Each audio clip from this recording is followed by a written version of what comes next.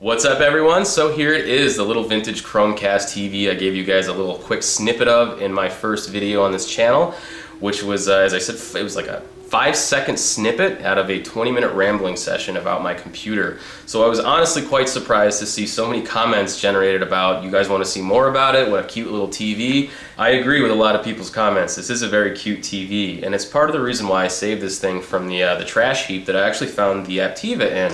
Now very quickly, if you're not sure what, what one of these things are, this is a $35 internet streaming device, not only an internet streaming device, it can stream your local content that you have on your own media server, computer, PC, uh, or uh, I'm, I'm, sorry, uh, phone or tablet, whether it's Android or iOS. But uh, most importantly, unlike other streaming solutions by Roku or Amazon Fire TV Stick, this thing, you don't deal with this at all. Pers you don't you don't deal with this thing. What how you work with this is through your phone or tablet. So if you want to set up the Wi-Fi on it, for instance, or find something to watch, you do it all through your phone or your tablet or even your PC. So that's perfect for an old TV like this because basically this has a couple of things going against it as we've moved on as a society from standard definition and the 4-3 aspect ratio. And when I say that, that means it's not widescreen. Basically, it's that you're going to have a really bad time trying to, if this thing had a, required a remote to choose what you're watching or set up Wi-Fi, well, you're not going to be able to see it on an old TV like this. And uh, there's nothing truly remarkable that I've done here by, by connecting an HDMI device to an old TV with a series of adapters that I will show you. But basically, what I've done is given this TV the ability for it to automatically turn itself on and then turn itself off after a set amount of inactivity. And the way that I did that is I've actually used this. Not the lights themselves, but the actual, the little, the little uh, timer section here. I've just removed the motion sensor and plugged in a sound source so basically when something is playing it wakes up the timer circuit in here and instead of turning on the lights it turns on the TV. So without further ado I'm going to go ahead and kick off the demonstration by using my phone as the remote control to turn this TV on and start playing something.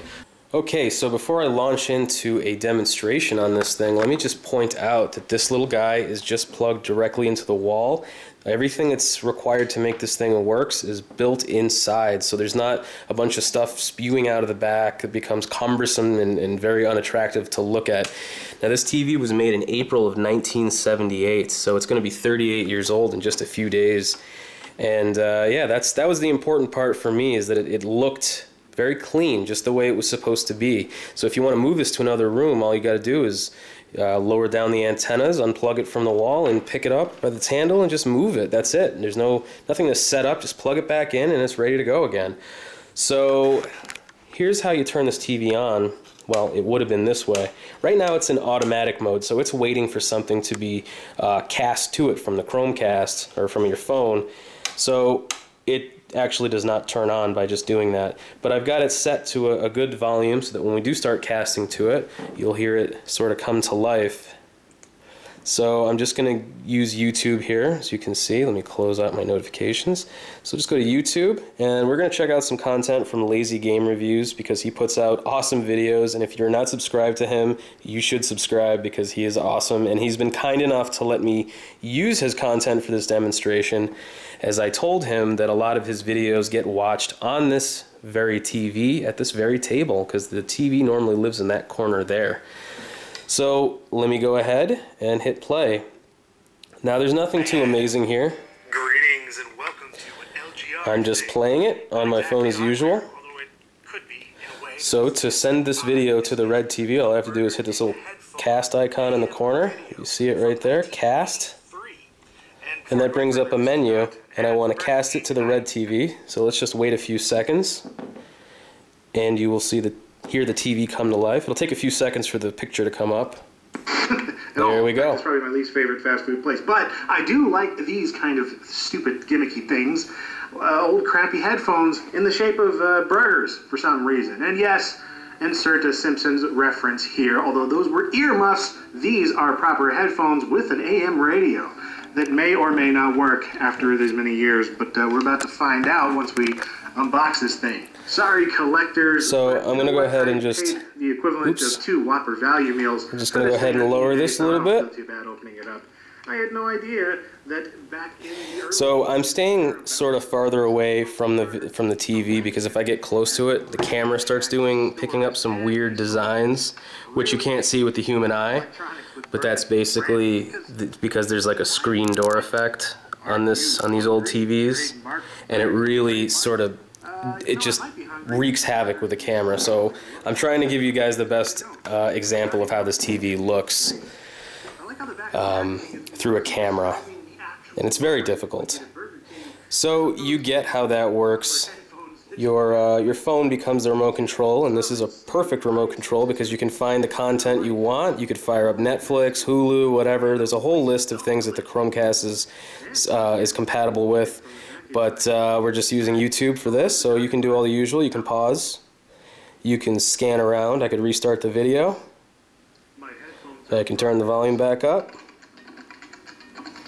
All that good stuff. So this TV actually has a second function, and that's to be an audio streaming device.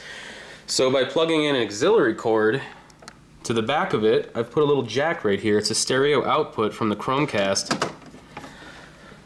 So I'm going to use some music that my brother made here, as it's not uh, going to give me any copyright problems. Actually, let me turn down the stereo.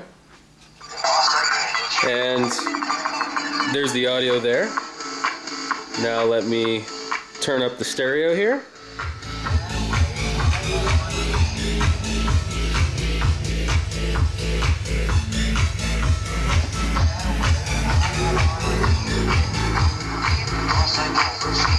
You can even turn the TV completely off because the Chromecast stays live. And you can do all the same stuff like lower the volume. You don't have to have the phone on or the screen on.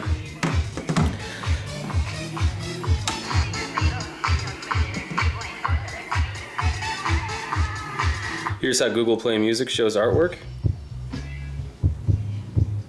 And it's perfect for watching music videos.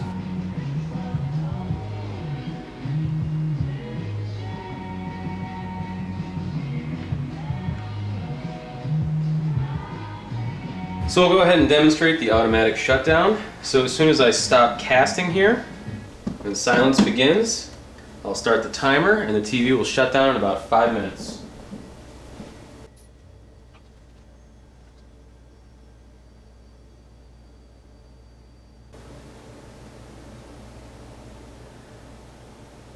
So there you go, five minutes right on the dot, fully automatic.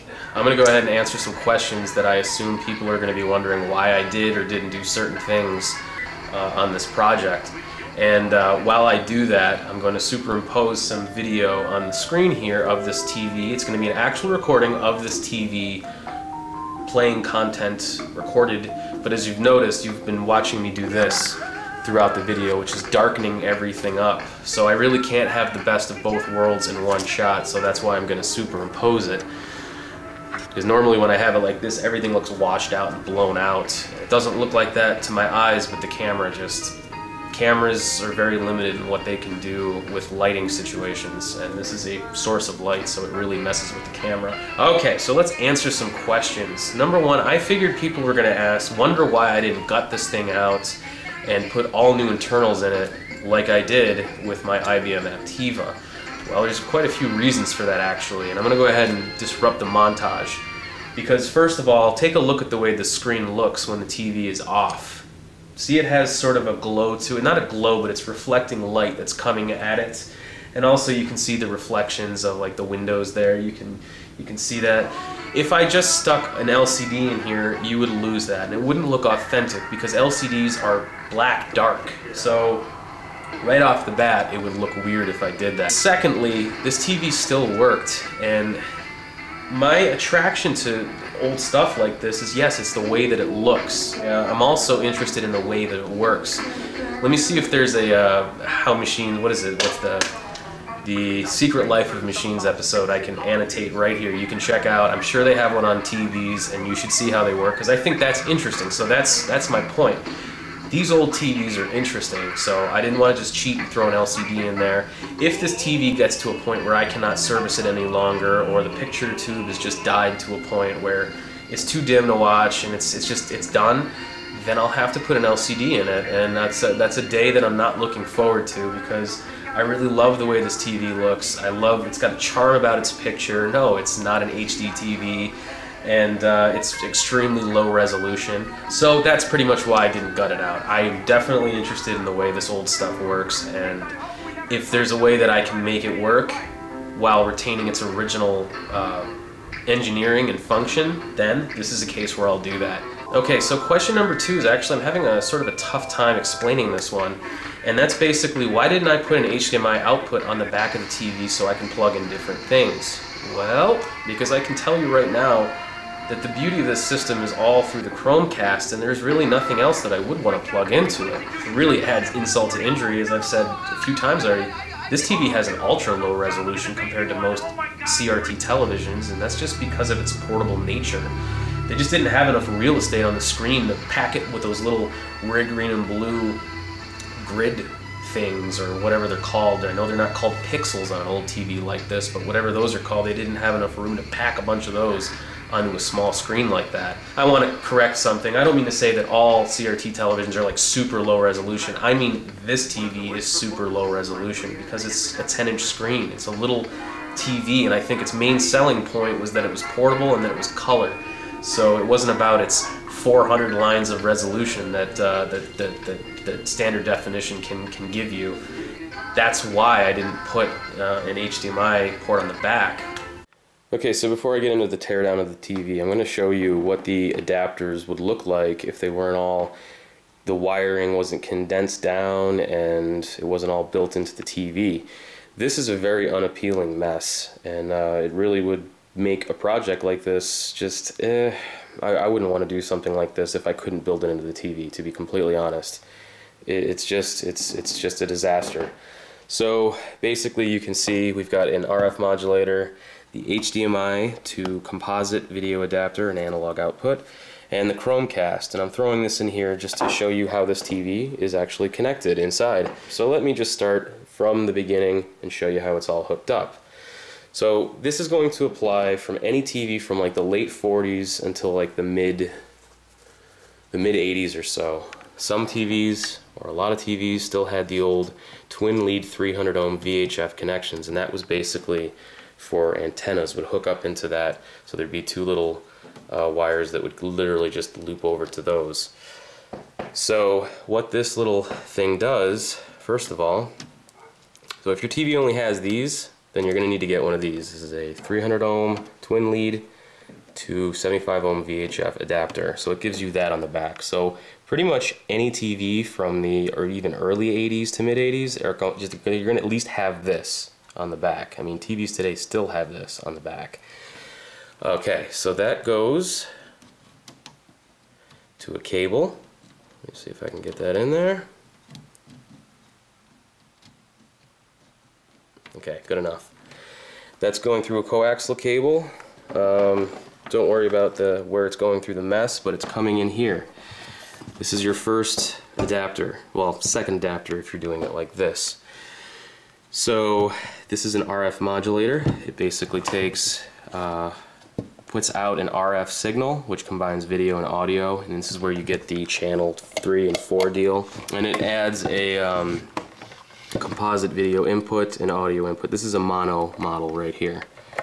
Because most of them will have, as you'll see inside a TV, the one I have, I have in there is a stereo one. So it has all three of these get used. And then from there, you're going to go from a to a composite HDMI, well it's an HDMI to composite adapter, okay? And this is like 15 bucks. We're going to talk a little bit more about this separately because there's one major flaw with this thing. And this is how you finally get your HDMI input right there. That's it. So I'm going to talk about connection options at this point. If you have a TV from a higher end TV from the uh, 80s, you're going to be lucky enough to probably have composite video input right on the back of that. So all you're going to need is an HDMI to composite adapter if your TV has an S-video input, then I would opt for an HDMI to S-video adapter. So you're going to have an S-video out here, and then you're going to have the two audio analog outputs right there.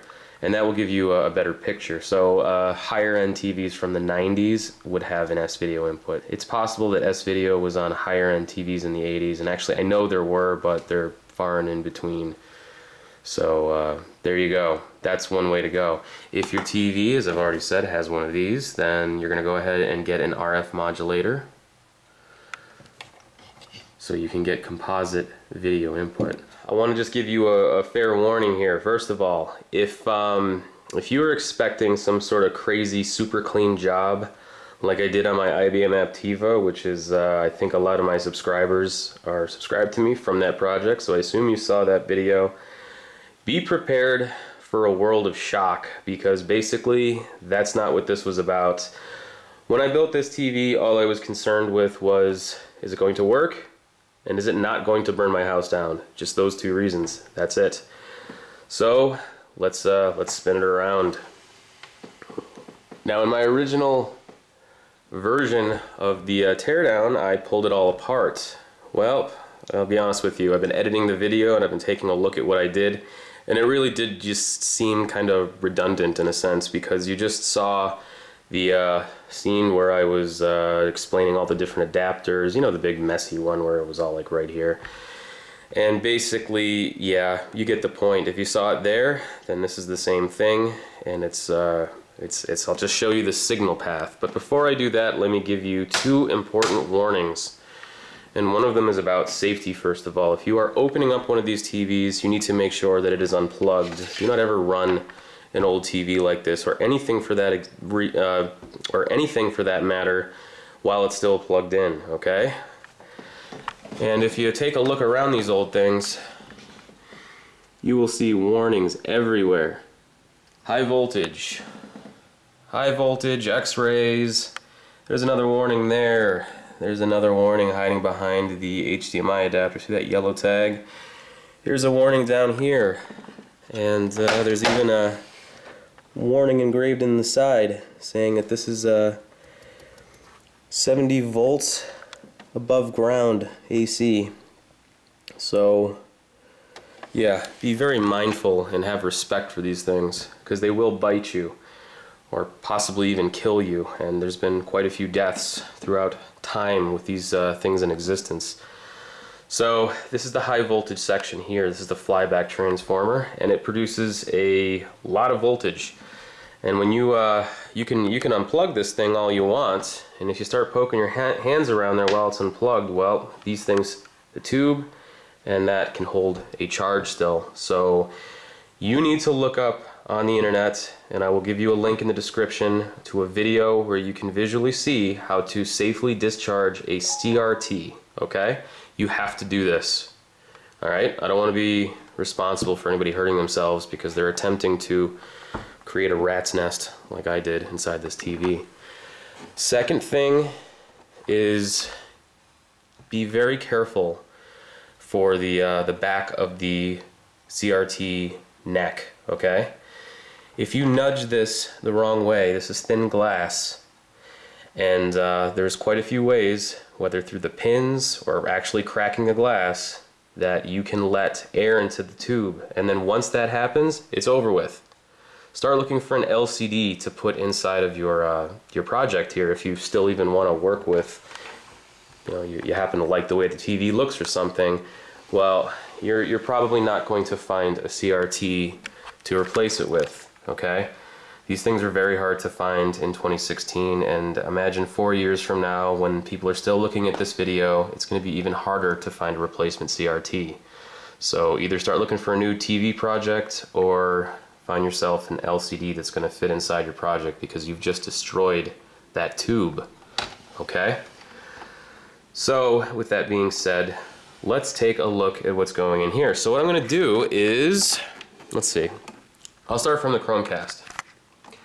So the Chromecast, there it is. It's going into the HDMI to composite adapter. And then it's going into an RF modulator, which that is plugged into. And I've avoided using uh, patch cables on this by using these little barrel connectors that I'll, I'll show you in a second when I take this thing out. And here we have our 75 ohm uh, coaxial cable coming up here. going around there. Finally coming back here into, remember those uh, 300 ohm twin lead VHF adapters? And that VHF or 300 ohm twin lead thingy is just soldered to the back of these two. That's it. That's the whole system there. You want to make sure that any of your wiring is not rubbing up on anything that generates heat or is sharp and could eventually wear through one of the wires. You just, you don't want, uh, at the very least, you're going to burn out one of your low voltage uh, devices like the Chromecast, the adapter, or possibly even the RF modulator. And at worst, something could get really hot and potentially start a fire and it's over at that point if that happens. I don't even think the fuse will grab it.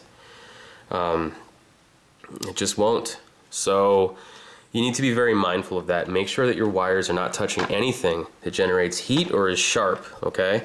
One other thing I want to mention is that I'm also extracting analog uh, audio uh, from the, the RF modulator and that's going into the jack here this wire you see right here.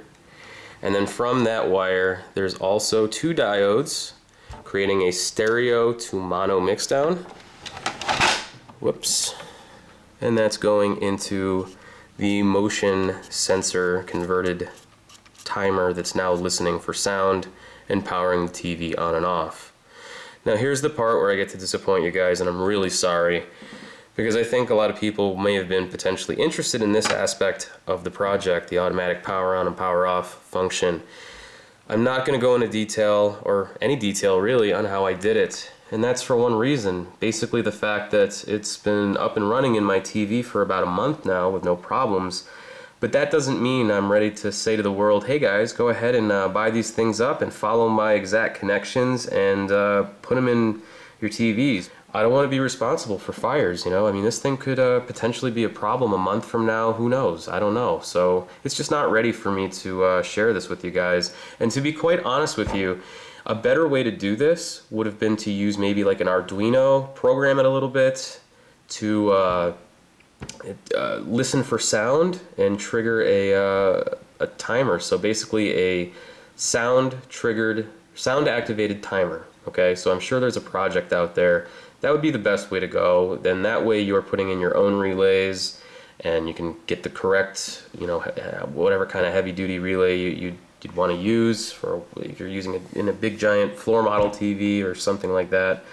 So that's all there is to say about that. Now you heard me say earlier that the only two things I was concerned with on this project was one, that it worked, and two, that it didn't start a fire. So you're probably wondering why it looks like such a sort of cobbed together hairy mess of crap just stuffed inside of a TV. Well that's basically because this is still a project. I'm not done with this by any means and I'm actually probably most likely going to make a video, if I can figure out how to make it work, where we revisit this thing and I figure out how to pump direct composite video into the first video amplifier of this TV, effectively turning it into a video monitor. So basically, as I've said, it's a project, and a lot of stuff's going to be coming out of this, and I don't want to permanently affix everything in certain locations. Now, if you have a keen eye, you may have noticed there was a Samsung little cell phone charger in there that was electrical taped to another power adapter. Why didn't I go over that? Well, basically I don't want to lead by example as I've said, this thing is in sort of a temporary project mode at the time, so I don't want to commit to spending a ton of time and, and, and permanently affixing everything very nice and doing a really super awesome job because I'm probably going to be taking all of this apart again at some point and there's just no reason. I'll be taking out components or adding in other components. So as long as I've done everything to a point, as I said, so it doesn't start a fire, it doesn't have to be pretty. Now we have one other thing to talk about, and if you remember I said this, we're going to talk a little bit more about this separately because there's one major flaw with this thing. So the reason that we have to talk about this more is because anybody who's doing this project is going to be in for a really nasty surprise when they find out that these adapters, not just the one I have, but many others like it, all lack one major feature. So what's it doing? It's taking this and squeezing it into a square picture. That totally sucks. I kind of get why they did it because I think the idea is that Alright, well, here's our 16.9. We're going to squeeze it to fit into this so you still get to see everything, but it has the drawback of everybody looking sort of skinnier if there's people in there, or if you had an, a, a perfect circle displayed on the 16.9, now it's going to look like an oval by the time it gets displayed on the screen. See, all these adapters lack one important feature, a simple button that allows you to select how to deal with different screen ratios, basically an aspect ratio button or what do you want to call it, a scale button. So the major, major downfall is this. Say that we're looking at something widescreen coming out of the Chromecast, but it happens to be 4.3 content. What it's going to do is it's going to squeeze that, including the black bars, into the 4.3. So now when you're watching it in this, this was supposed to be perfect for watching 4.3 content. When you're watching this now, everybody's squeezed in and you get these horrible black bars. Oh man, is that such a killer because like I said, this was supposed to be perfect for watching old TVs on and it's ruined by that stupid adapter's inability to do anything with it. Now I've got another adapter coming from Amazon that features a zoom function, but the description doesn't tell you how that actually works. But I figured I'd go ahead and give it a try anyway and see if it's something that can fix this issue. So I'll report my findings in an unlisted video that I'll annotate here right now. So on that note, I think we've finally come to the end of this project, which has not been a very fun video for me to make because I'm just talking and talking and talking and showing off something I already did. My next video, or I should say my next project, is going to be, thankfully, a start to finish project where you guys get to walk through the entire process of building something, which means tools, and that's going to be a lot more fun and interesting for me to uh, create that content for you guys.